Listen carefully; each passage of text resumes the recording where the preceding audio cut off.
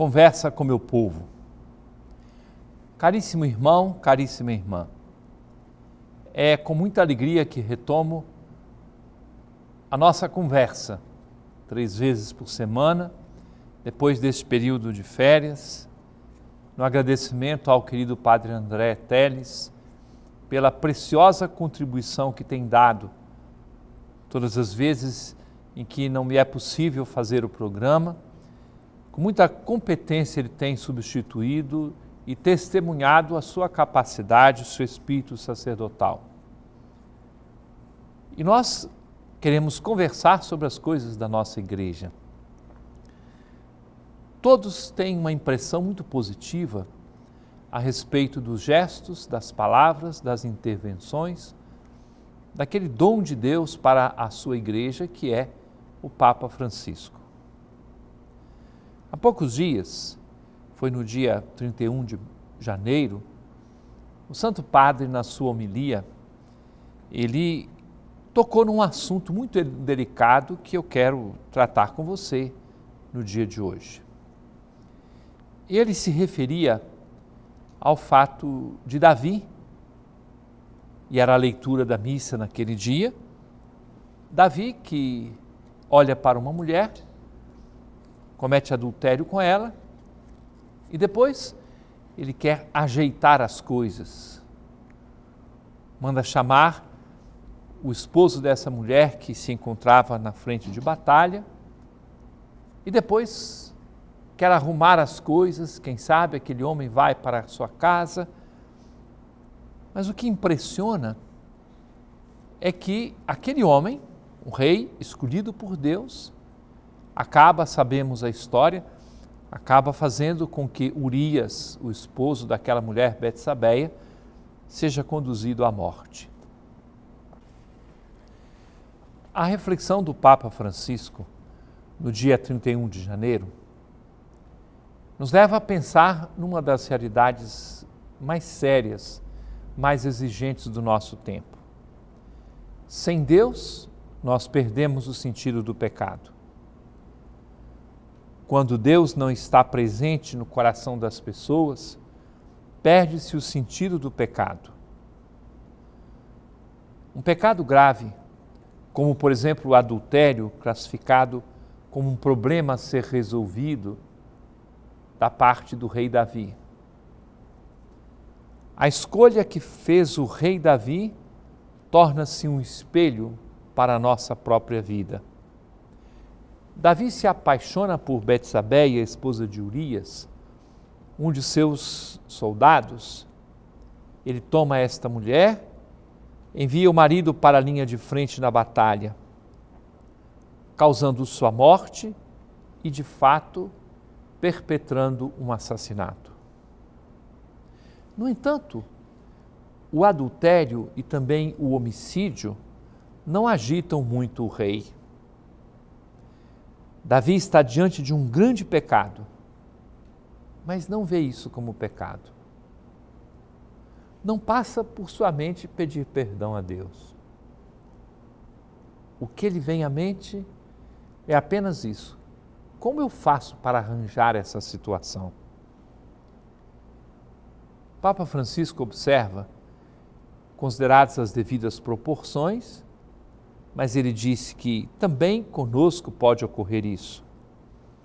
Todos nós somos pecadores, todos nós somos tentados, e a tentação pode ser dita pão nosso de cada dia. Se qualquer pessoa disser nunca tive tentações, ou você é um anjo, ou então é um pouco estúpido. Entendamos, é normal na vida a luta. O diabo não está tranquilo, ele quer a vitória. Mas o problema, o problema mais grave, não é tanto a tentação e o pecado. Um pecado contra o nono mandamento, desejar a mulher do próximo, mas o mais grave é o modo com que Davi age. Davi não fala de pecado, fala de um problema que precisa ser resolvido. este é um sinal muito sério. Quando o reino de Deus não é acolhido, quando o reino de Deus diminui no mundo ou no nosso coração, um dos sinais é que se perde o sentido do pecado. Tudo fica normal, tem que se ajeitar, tem que cobrir a situação. Todos os dias, explica Papa Francisco, recitando o Pai Nosso, nós dizemos: Venha a nós o vosso reino. Quer dizer, cresça o vosso reino. Mas quando você perde o sentido do pecado, você perde também o sentido do reino de Deus. E aí aparece uma concepção do ser humano super poderosa. É aquela pessoa que começa a dizer: Eu posso fazer tudo. E digo eu agora, nós parecemos crianças brincando com controle remoto. Achamos que seja possível controlar tudo segundo o nosso gosto e, de forma especial, segundo o nosso egoísmo. É o poder do homem ao invés da glória de Deus. E muitas vezes esse se torna o nosso pão de cada dia. Por isso, a oração de todos os dias a Deus: venha a nós o vosso reino, cresça o vosso reino. A igreja precisa pedir continuamente esta realidade, pois este é um ensinamento precioso. A salvação não virá de nossa esperteza ou de nossa astúcia, da nossa inteligência ou, quem sabe, capacidade para fazer negócios a salvação virá pela graça de Deus. E através do treinamento cotidiano que nós fazemos da acolhida desta graça na vida cristã. O maior pecado de hoje é que as pessoas perderam o sentido do pecado. Papa Francisco citou essa frase famosa de Pio XII. E depois fez com que nós voltássemos o nosso olhar para Urias, aquele esposo de Betsabeia, um homem inocente condenado à morte por culpa do seu rei. Papa Francisco nos observou que este homem se torna um símbolo de todas as vítimas do nosso inconfessado orgulho. Diz o Papa, confesso que quando vejo tantas injustiças, quando vejo o orgulho humano, quando vejo o perigo que isso possa ocorrer com todos nós, e dizia ele também a mim, o perigo de perder o sentido do pecado, tudo isso faz pensar nos muitos Urias da história, dos muitos Urias que hoje também sofrem por causa da nossa mediocridade, quando perdemos o sentido do pecado, quando nós queremos reinar, quando deixamos que o reino de Deus diminua ao invés de fazê-lo crescer. São muitas pessoas mártires dos nossos pecados não reconhecidos. Faz muito bem rezar rezar por nós todos, para que o Senhor nos dê a graça de não perder o sentido do pecado, para que o seu reino não diminua em nós. E ele terminou a sua belíssima homilia, desejando que todos nós levemos uma flor espiritual ao túmulo de todos os Urias do nosso tempo que pagam a conta do banquete daquelas pessoas que se sentem seguras, dos cristãos que se sentem seguros. Como você vê, o grande convite que queremos acolher da parte do Papa Francisco é um convite a um exame de consciência. Muitas pessoas têm conversado comigo a respeito do ambiente de violência em que nos encontramos. E aqui a nossa cidade de Belém, infelizmente, se torna muitas vezes campeã de violência. Parece uma terrível competição, uma competição mórbida, doentia, como se fôssemos tentar descobrir qual é o lugar mais violento como se isso fosse uma vantagem. E vantagem não é. Ao contrário, é uma vergonha. É hora de nós pensarmos também se em nossa vida, na vida de cada um de nós, não existem situações em que muitas vezes, ao invés de pedir perdão humildemente ao Senhor, nós pretendemos ajeitar as coisas. Davi, naquele momento, não reconheceu o seu pecado. Sabemos o que ocorreu depois. Deus manda o profeta Natan conversar com Davi. Davi lhe conta uma história. Um homem tinha muitas ovelhas. Para dar uma festa, por causa de uma visita, ele rouba a ovelha do vizinho. O que deve acontecer com esse homem? Ele merece a morte. E o profeta diz: Tu és esse homem. Davi tinha tantas possibilidades e vai roubar a mulher dos outros. E aí sim, Davi reconhece o seu pecado. O Salmo 50 é justamente atribuído a Davi no arrependimento profundo, quando ele é capaz de dizer: Tende piedade de mim, porque pequei. Foi contra vós, só contra vós que eu pequei e pratiquei o que é mal aos vossos olhos. Esse sentido de arrependimento, a percepção do pecado, a responsabilidade que temos, o desejo de conversão, tome conta de nossas vidas. Permaneça conosco, daqui a pouco estamos de volta na conversa com meu povo. Conversa com meu povo. Caríssimo irmão, caríssima irmã. Todos estão vendo que nós estamos com uma apresentação nova deste programa Conversa com meu povo.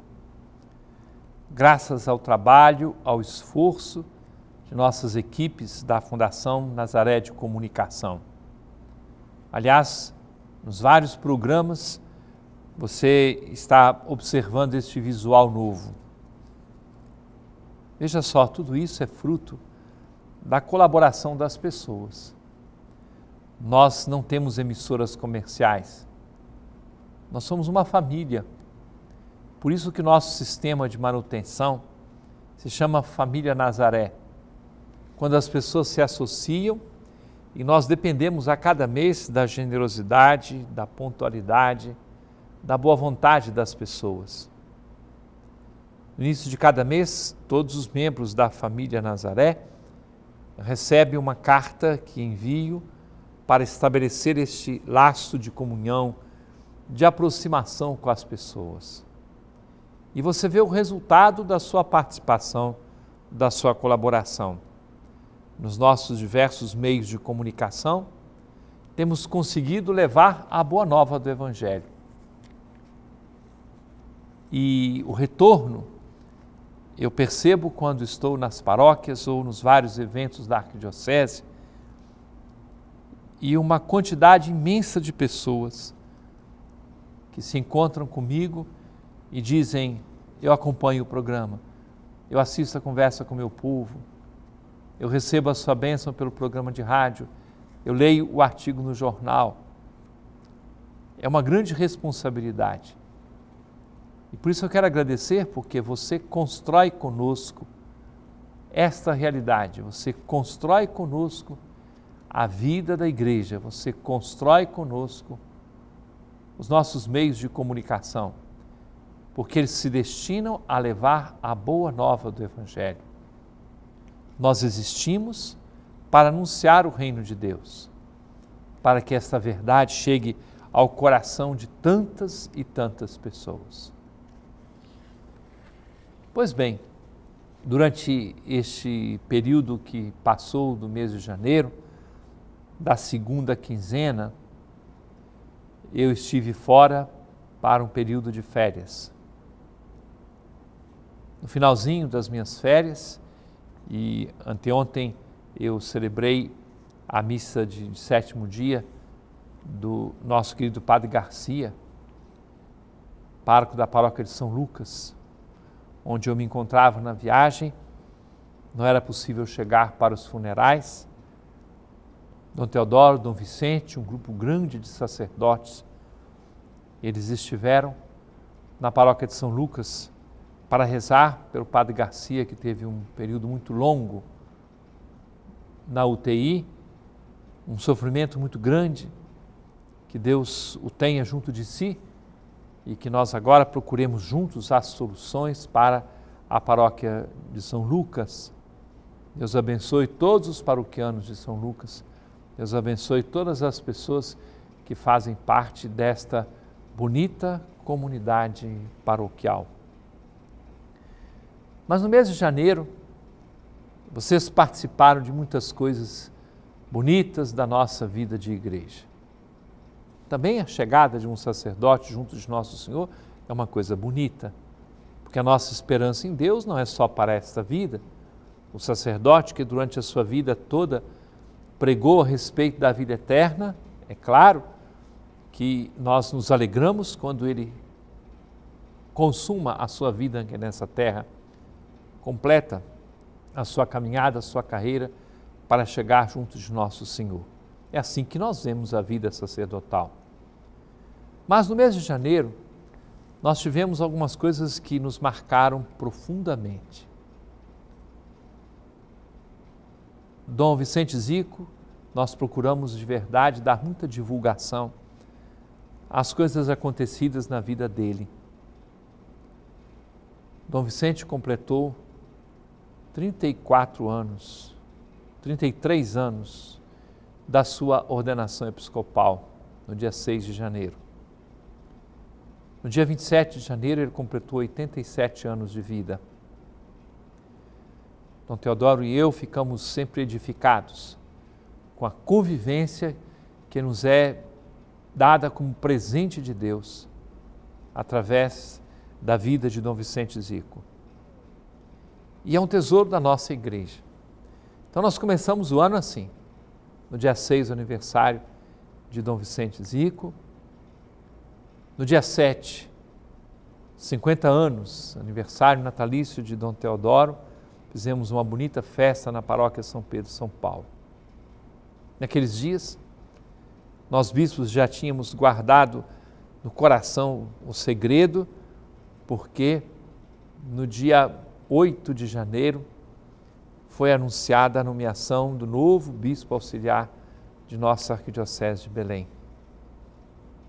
Eu tenho o privilégio de ter agora dois bispos auxiliares, Dom Teodoro, que é este tesouro da nossa igreja, e Dom Irineu, que será ordenado bispo no dia 19 de março, e a partir do dia 6 de abril assumirá suas responsabilidades como auxiliar de nossa Arquidiocese de Belém. Algumas pessoas já sabem o que vou contar agora, mas só posso falar com mais clareza a esta altura. No dia 23 de dezembro, eu recebi a comunicação, ainda em sigilo, da nomeação do Padre Lineu como bispo auxiliar.